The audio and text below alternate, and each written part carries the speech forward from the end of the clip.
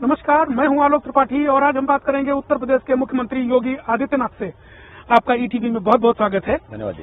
Sir आप Covid काल से ही उत्तर प्रदेश के सभी जिलों के दौरे कर रहे हैं और कई कई बार जिलों के दौरे हो गए हैं। इस चुनाव में क्या देख रहे हैं आप? किस तरफ़ जा रहा है चुनाव? देखिए चुनाव भारतीय जनता पार्टी के राष्ट्रवाद विकास और सुशासन के एजेंडे पर जा रहा है। और जनता जनार्दन ठान चुकी है कि उन्हें सुरक्षा देने वाली उनके उज्जवल भविष्य के लिए विकास के कार्यों को प्राथमिकता के आधार पर डबल स्पीड के साथ बढ़ाने वाली बिना भेदभाव के हर गाँव, हर गरीब हर किसान हर नौजवान और हर महिला को शासन की सुविधा से जोड़ने वाली भारतीय जनता पार्टी की डबल इंजन की सरकार को प्रदेश के अंदर हर हाल में लाना है और चुनाव के अब तक के तीन चरणों के जो रुझान है, वो इसका स्पष्ट संकेत करते हैं। हाल ही में कुछ आतंकियों को सजा सुनाई गई। उनमें से एक का संबंध कोई सपा के जो प्रदेश जो अध्यक्ष हैं, अखिलेश यादव जी, उनके साथ उसके पिता का फ़ोटो वायरल है। इस पर क्या कहेंगे आप? देखिए, समाजवादी पार्टी का इतिहास सुरक्षा के मुद्दे पर अत्यंत ही खराब रहा है। 2013 में जब समाजवादी पार्टी की सरकार थी तो उन्होंने उस समय उत्तर प्रदेश के अंदर जितनी भी आतंकी घटनाएँ उससे पूर्व हुई थी, अयोध्या में राम जन्मभूमि पर हमले का हो काशी में संकटमोचन मंदिर के हमले का, लखनऊ, वाराणसी और अयोध्या की कचहरियों पर हमले, गोरखपुर, कानपुर और बिजनौर की सीरियल ब्लास्ट, रामपुर के सीआरपीएफ कैंप पर हमले जितने भी आतंकी घटनाएँ हुई थी, इससे जुड़े हुए सभी आतंकियों के मुकदमों को वापस लेने का कुत्सित प्रयास समाजवादी पार्टी की सरकार ने किया था। समाजवादी पार्टी सरकार का पूरा इतिहास ही प्रदेश के अंदर अपने राजनीतिक स्वार्थ के लिए, वोट बैंक की राजनीति करने के लिए उन्होंने राष्ट्रीय सुरक्षा के साथ खिलवाड़ किया। प्रदेश को दंगों की आँख में झोंका। प्रदेश में पेशेवर माफिया और गुंडों को प्रश्रय दिया। तो ये तो समाजवादी पार्टी का पुराना जो संदिग्ध इतिहास रहा, वो पहले से हर व्यक्ति जानता था। अभी तीन दिन पहले जो गुजरात की एक न्यायालय ने फैसला दिया है गुजरात के सीरियल ब्लास्ट के मामलों में वांछित अभियुक्तों के खिलाफ कार्रवाई करने के लिए। की है, जिसमें 38 को फांसी की सजा हुई है 11 को आजीवन कारावास। उसमें से नौ लोगों का संबंध उत्तर प्रदेश से है। और उत्तर प्रदेश में सर्वाधिक आतंकी आजमगढ़ के संजरपुर गाँव और उसके आसपास के हैं। संजरपुर का एक आतंकी, जिसके भाई का संबंध दिल्ली के बटला हाउस की घटना से भी रहा है। तो सीरिया भाग चुका है घोषित आतंकी है। और एक यह है, इनका जो बाप है, वो समाजवादी पार्टी का सक्रिय कार्यकर्ता है। समाजवादी पार्टी का प्रचारक है। मुझे आश्चर्य होता है कि हर छोटी बड़ी घटना पर क्रिया प्रतिक्रिया व्यक्त करने वाली समाजवादी पार्टी के मुखिया। 2013 की घटना 2013 की घटना को लेकर मौन क्यों है? और अभी गुजरात के एक न्यायालय के द्वारा दिए गए फैसले के बाद जो बातें जनता के बीच में सामने आई हैं, उस पर अभी तक क्यों मौन है?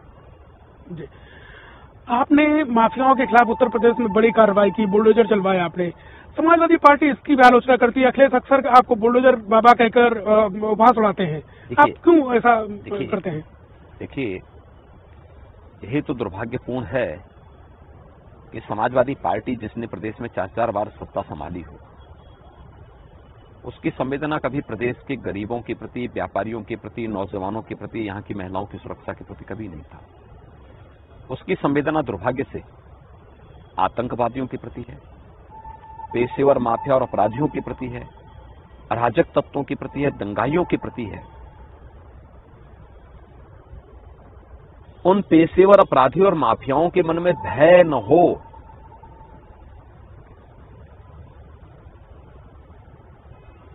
समाजवादी पार्टी हमेशा उनको सत्ता का प्रश्रय देती थी। हमारी सरकार 2017 में लोक कल्याण संकल्प पत्र के साथ आई थी। हम लोगों ने जो कहा वो करके दिखाया। अपराध और अपराधी के प्रति ज़ीरो टॉलरेंस की नीति के तहत कार्य करेंगे। हम लोगों ने ज़ीरो टॉलरेंस अपनाया।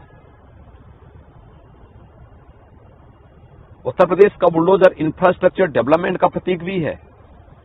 तो माफियाओं के मन में भय का प्रतीक भी है। विकास भी होगा।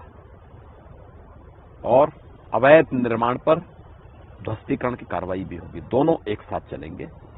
और मैं फिर इस बात को कह सकता हूँ 10 मार्च के बाद जब भारतीय जनता पार्टी की फिर से सरकार आएगी सरकार अपने सुरक्षा के मुद्दे पर कोई समझौता किए बगैर विकास के मुद्दे पर समझौता किए बगैर किसी भी ऐसे मुद्दे पर समझौता किए बगैर जो प्रदेश के हित में हो देश के हित में हो अपने कार्यक्रम को अनवरत रूप से आगे बढ़ाएगी। आपने दंगाइयों ने जो संपत्तियों को नुकसान पहुँचाया उसके वसूली के लिए आपने एक कदम उठाया था जिसकी पूरे देश में चर्चा हुई। अभी सुप्रीम कोर्ट ने इस मामले में हस्तक्षेप किया है और शायद अभी आपसे कहा है कि आप वो मुकदमे और जुर्माना वापस लें। इसको लेकर अब जब सरकार में आप अगर आते हैं तो आप क्या करेंगे? देखिए माननीय उच्चतम न्यायालय ने वही कहा है जो हम पहले ही कर चुके हैं। यहाँ पर जितने भी दंगाई थे, उन दंगाइयों से वसूली के लिए जो हम लोगों ने कार्रवाई की थी तो हमारे प्रशासन ने उसको पहले एडमिनिस्ट्रेटिव ऑर्डर से किया था। बाद में हम लोगों ने उसका एक्ट बनाया। एक्ट बनने के पहले कुछ लोगों से ये वसूली प्रशासनिक आदेश से हुआ था। हम ऑलरेडी एक्ट बना चुके हैं। तीन ट्रिब्यूनल गठित कर चुके हैं। लखनऊ में प्रयागराज में और मेरठ में। न्यायालय ने भी इस बात को कहा है कि आप ट्रिब्यूनल के माध्यम से वसूली कर सकते हैं एडमिनिस्ट्रेटिव ऑर्डर से नहीं। जी। तो वहाँ एडमिनिस्ट्रेटिव ऑर्डर को विड्रॉ करना है जो कार्रवाई हमारी पहले प्रचलित है। और ये कार्रवाई अब हमारी जुडिशल जो यहाँ पे हम लोगों ने वो गठित किए हैं कोर्ट गठित किए हैं उनके माध्यम से शुरू होगी अभी हिजाब को लेकर गुजरात से एक विवाद शुरू हुआ है। इस पर आपका क्या दृष्टिकोण है? कर्नाटक से मामला सामने आया है। और मेरा ये मानना है कि देश की व्यवस्था संविधान से चलेगी, कि व्यक्तिगत कानून या शरीयत से नहीं। घर के अंदर आपका अपना पहनावा हो सकता है, लेकिन किसी संस्था में जो वहाँ की निर्धारित ड्रेस कोड होगा, उसका लागू होना चाहिए। और मुझे लगता है तीन तलाक की कुप्रथा को समाप्त करने की कार्रवाई हो, या महिलाओं को जीवन के प्रत्येक क्षेत्र में आगे बढ़ने के लिए? प्रधानमंत्री मोदी जी के नेतृत्व में? बिना भेदभाव के देश की हर बेटी को आगे बढ़ने का पूरा अवसर दिया जा रहा है।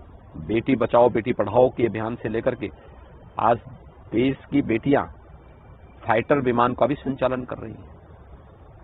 ऐसे समय में हम सरिया के माध्यम से आधी आबादी को ज़बरदस्ती उन पर अपनी बातों को थोपना चाहेंगे, ये चीज़ें नहीं हो सकती हैं।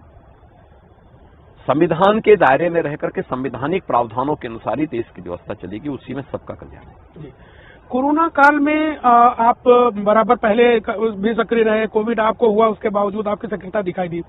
इसके बावजूद जो कोविड टू थी, जो लहर उस पर सपा बहुत आरोप लगाती है कि इनकी कुप्रबंधन का और कि सरकार ने काम ठीक से नहीं किया। कोविड के दौरान सपा, बसपा या कांग्रेस थी कहा? ट्विटर के बाहर नहीं थे। इनका किसी का पता नहीं था। कोरोना की पहली वेव हो, दूसरी वेव हो या तीसरी वेव ये जितने नेता आज चुनावी मैदान में दिखाई दे रहे हैं ना, सपा के हों, बसपा के हों या कांग्रेस के ये केवल चुनाव के दौरान दिखाई दे रहे हैं पिछले तीन चार महीनों से। उससे पहले सभी लोग गायब थे।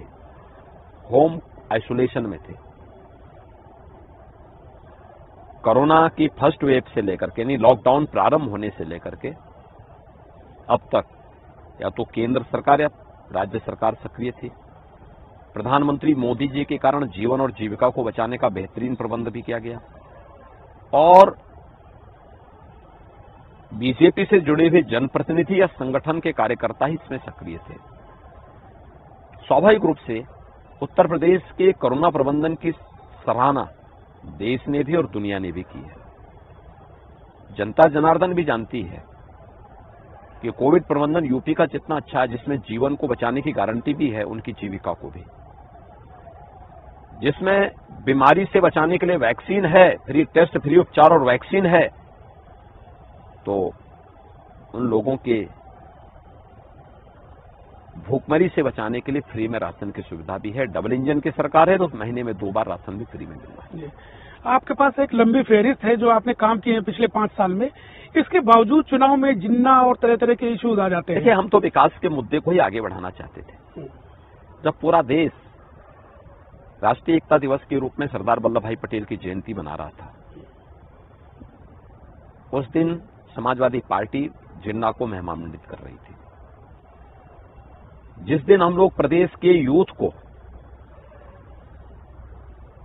स्मार्टफ़ोन और कंप्यूटर वितरित कर रहे थे, उस दिन समाजवादी पार्टी पाकिस्तान का गुणगान गा रही थी। तो जिन्ना और पाकिस्तान का मुद्दा भी लोग लेकर आए हैं। हम लोग लेके नहीं आए हम तो राष्ट्रवाद, विकास और सुशासन के मुद्दे पर ही सबका साथ सबके विकास की भावना को उसके साथ ही इस चुनावी समर में है और अपनी बातों को दमदार तरीके से लगते हैं। योगी जी एक आखिरी सवाल आपसे। इस चुनाव में क्या आपका अनुमान है भारतीय जनता पार्टी कितनी सीटें जीत के आ सकती है? देखिए लड़ाई 80 बनाम 20 की है। 80 फ़ीसदी सीटें भारतीय जनता पार्टी जीती है पहले भी इस बार भी जीतेगी। 20 फ़ीसदी में बसपा सपा और कांग्रेस के बीच में बंटवारा। होगा। अस्सी बीस को किस का अर्थ समाजवादी पार्टी कुछ दूसरी तरफ़ ले जाती है इस पर भी बड़ी चर्चा होती उनकी है। सोच जैसी होगी वैसे अर्थ लेंगे। हमारी सोच स्पष्ट है। जो लोग सुरक्षा के पक्षधर हैं जो लोग विकास के पक्षधर हैं जो लोग आस्था के सम्मान का पक्षधर हैं गरीब कल्याणकारी योजनाओं के पक्षधर हैं कि हर गरीब को मकान मिलना चाहिए हर गरीब को राशन मिलना चाहिए हर गरीब को बिजली समान रूप से मिलनी चाहिए तो ये सभी लोग भारतीय जनता पार्टी को पोल करेंगे। जो लोग चाहते हैं दंगा हो माफियाओं का वर्चस्व हो अराजकता फैले आतंकी गतिविधियों तेज़ी के साथ पनपे वे लोग 20 प्रतिशत लोग भारतीय जनता पार्टी के विरोध में पोल करेंगे। योगी जी हमसे बात करने के लिए बहुत बहुत धन्यवाद। धन्यवाद जी बहुत बहुत धन्यवाद। ये थे उत्तर प्रदेश के मुख्यमंत्री योगी आदित्यनाथ जी जो बता रहे थे कि वो कैसे उत्तर प्रदेश में काम कर रहे हैं उनकी सरकार की उपलब्धियाँ भी बता रहे थे। कैमरामैन विजय के साथ मैं आलोक त्रिपाठी ई टीवी भारत लखनऊ।